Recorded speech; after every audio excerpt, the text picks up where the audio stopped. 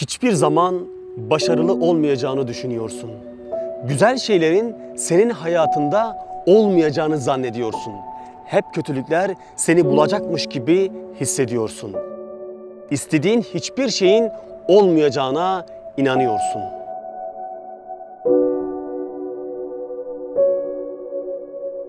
Eğer sen de böyle hissediyorsan, bundan sonraki hayatında daha güzel hikayeler yazmak istiyorsan bana sadece biraz vakit ayır. Kafanda ne kadar olumsuzluk zincirleri varsa hepsi kırılacak, hayata bakış açın değişecek.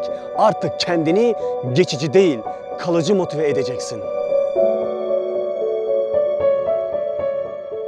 Üç farklı grubu basketbol sahasına getirirler. Bu grupları A, B, C diye takımlara ayırırlar. Ayırdıktan sonra farklı talimatlar ve görevler verirler. A takımına derler ki sizler 30 gün boyunca basketbol sahasına geleceksiniz, basketbol potasına top atacaksınız ve sıkı idmanlar yapacaksınız. B takımına da derler ki sizler her gün basketbol sahasına geleceksiniz ama topa elinizi dokunmayacaksınız. Sadece zihninizde basketbol potasına topu attığınızı hayal edeceksiniz. Ayrıca yapmış olduğunuz maçlarda kazandığınızı hayal edeceksiniz. C takımına da dediler ki sizler topa elinizi dokunmayacaksınız. Hatta halı sahaya bile gelmeyeceksiniz. İstediğiniz gibi 30 gün boyunca takılacaksınız. Yapılan bu teste çok şaşırtıcı bir sonuç ile karşılaştılar.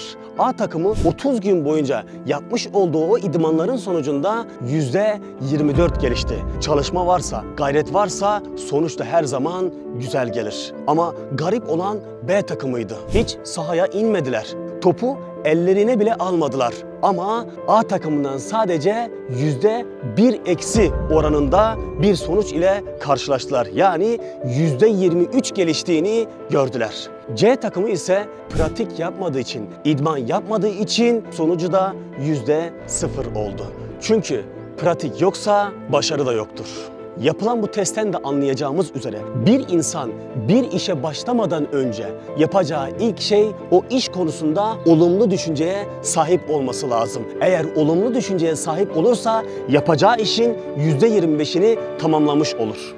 Eğer senin de şu an yapmak istediğin, hayalini kurmuş olduğun birçok hedeflerin varsa senin de bu konuda yapman gereken o iş konusunda olumlu düşünmek olacak. Eğer sen yapacağın işte ilk olarak olumlu düşünürsen, gayretin olursa, çaban olursa ve asla o hedefin noktasında pes etmezsen o işin %90'lık kısmını halletmiş olursun. Tam da bu konuyla ilgili Üstad Bediüzzaman Hazretleri şunu söylüyor. Güzel düşünen güzel görür. Güzel gören hayatından lezzet alır. Üstad Bediüzzaman Hazretleri'nin vermiş olduğu bu formül ile sen de bir işe başlamadan önce ilk olarak güzel göreceksin. Güzel gördükten sonra güzel düşüneceksin. Eğer bunu yaparsan hayatından lezzet alırsın, istediğin hedeflere kavuşursun. Peki insan nasıl güzel düşünebilir? Tabii insanın aklına bu geliyor. Benim hayatımda birçok olumsuzluklar var, birçok sıkıntılar var, birçok dertler var ama ben bu olumsuzluklara karşı nasıl güzel göreceğim? Ben nasıl güzel düşüneceğim? Birçok hedeflerim için çalışmalarım oldu ama her defasında başarısız oldum. Ben bu hayatımdaki başarısızlıklara karşı nasıl güzel düşünebilirim? Nasıl güzel görebilirim? Bakın Üstad Bediüzzaman Hazretleri'nin yine çok güzel bir tespiti var. Diyor ki Cenab-ı Hakk'ı tanıyan, seven, nihayetsiz saadete, nimete, envara, esrara ya bil kuvve ya bil fiil mazhar olur diyor. Cenab-ı Hakk'ı hakiki tanımayan, sevmeyen nihayetsiz şekavete, ağlama, evhama, manen ve maddeten müptela olur diyor. Bakın Üstad Bediüzzaman Hazretleri bize güzel düşünmek ile hayatımızdaki başarısızlıklara rağmen nasıl yeniden ayağa kalkıp nasıl mücadele edebileceğimizin bir sırrını verdi. Ne dedi? Cenab-ı Hakk'ı tanıyan dedi, seven dedi, nihayetsiz mutluluğa, nurlara, sırlara, gizli hakikatlere mazhar olur dedi. Ama Cenab-ı Hakk'ı hakiki manada tanımayan ve sevmeyen nihayetsiz şekavete, acılara, evhama, kuruntulara mazhar olur dedi. E şimdi sen de kendi hayatını şöyle ölç ve biç. Şu an senin zihin dünyanda kötü düşünceler, boş kuruntular, olumsuzluklar varsa, acılara ve sıkıntılara, şikayetlere mazhar kalıyorsan sen o zaman Allah'ı hakiki manada tanımıyorsun. Tanımadığın için hayatın olumsuzluklar ve sıkıntılar ile dolu. Ama Allah'ı tanırsan sınırsız mutluluklara, nimetlere, nurlara, gizli hakikatlere mazhar olacaksın diyor. Peki bunun örneği var mı? Evet var. Bunun örneği Üstad-ı Muttak olan Efendimiz Aleyhisselatü Vesselam. Efendimiz Aleyhisselatü Vesselam'ın hayatını incelediğimizde, tetkik ettiğimizde hayatının her alanında başına gelen sıkıntılara, musibetlere, her olayda şu sözü söylüyor.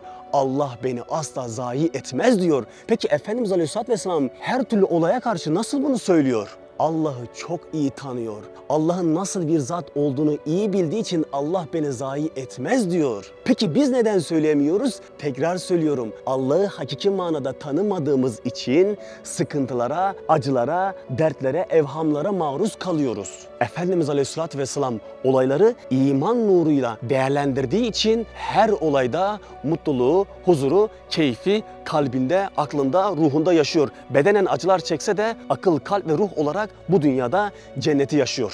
Peki sadece bu Efendimiz Aleyhisselatü Vesselam'a has bir şey mi? Hayır. Sahabe efendilerimizin hayatına baktığımızda da onların da dilinde her zaman şu söz var. Allah beni asla zayi etmez. Onların başına bir sıkıntı musibet geldiği zaman Allah'a daha fazla yaklaşıyorlar ve hayatının her alanında olumlu düşünceye sahip oluyorlar. Ama bizim başımıza bir musibet sıkıntı geldiği zaman hemen şikayet ediyoruz. Kafamızdan intihar fikirleri geçiyor. Devamlı olumsuzluklar düşünüyoruz. Kafamızdan bir türlü o olumsuzluk zincirleri kırılmıyor. Tekrar söylüyorum. Burayı tekrar tekrar söylüyorum. Çünkü burası çok önemli.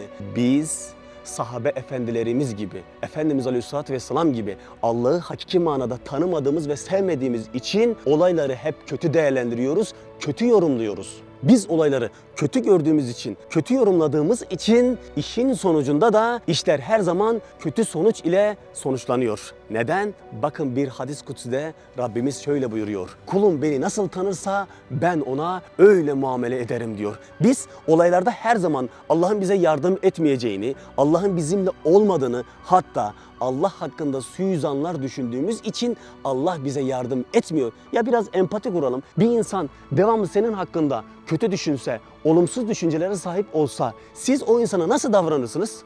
Elbette o insana siz de kötü davranırsınız. Aynen öyle de bizler de Allah hakkında kötü düşünürsek, suizanlar beslersek Allah da bize yardım etmez. Ama Allah'ı tanımış, Allah'ı bilmiş olan Efendimiz Aleyhisselatü Vesselam'a baktığımızda en zor imtihanlarda bile ne diyordu? Tekrar söyleyelim. Allah beni zayi etmez diyordu. Sen de başına gelen imtihanlara imanın nuruyla bak. Yani esma esma Allah'ın isim ve sıfatları ile bak. Birincisi başına bir musibet geldiğinde şunu söyle. De ki Allah cemildir yani sonsuz güzellik sahibidir. İki, Allah hakimdir yani asla saçma abes iş yapmazdı. Üçüncüsü Allah mürebbidir yani terbiye edendir.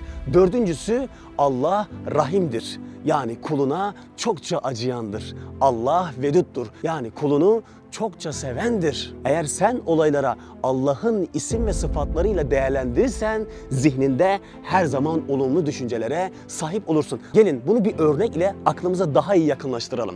Mesela senin annen senin hakkında kötü düşünür mü? Veya senin kötü yerlere gelmeni ister mi? Onun o merhameti ve şefkati bunu ister mi? Elbette istemez. Peki önce annene, sonra tüm annelere, daha sonra bütün hayvanlara o şefkati ve merhameti yerleştiren Rahman ve Rahim olan Allah senin hakkında kötü şeyler ister mi? Veya senin kötü yerlere gelmeni ister mi? Elbette ki istemez. Evet sen de bundan sonraki hayatında artık ne kadar yaşarsın bilmiyorum. Ecel gizlidir çünkü bilemiyoruz. Bundan sonraki hayatında ne kadar yaşarsan hayatını Allah'ın isim ve sıfatlarıyla doldur ve olayları her zaman güzel gör ve her türlü musibetin üstesinden kalk. Eğer bir olay ve bir musibet karşısında yenik düştüysen bil ki Allah'ın bir esması konusunda sıkıntıların vardır. Yani Allah'ın o ismini tanımıyorsundur. Tanımadığın için o noktada yere düşmüşsündür.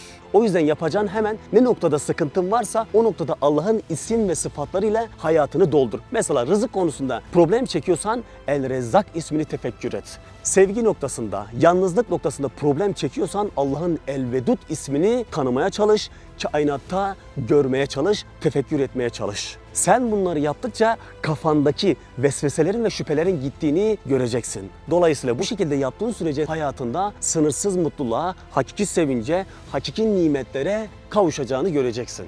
Genel olarak özetleyecek olursak, başındaki sıkıntılardan ve musibetlerden kurtulmak istiyorsan birinci aşama olumlu düşünmek. İkinci aşama çaba, üçüncü aşama gayret, dördüncü aşama asla vazgeçmemek. Ne olursa olsun vazgeçmemek.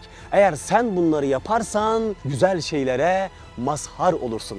Unutma, bir insan birdenbire bu duruma gelemez. Ancak irade, sabır ve enerjiyle her şeye vasıl olur. Zübeyir Gündüzalp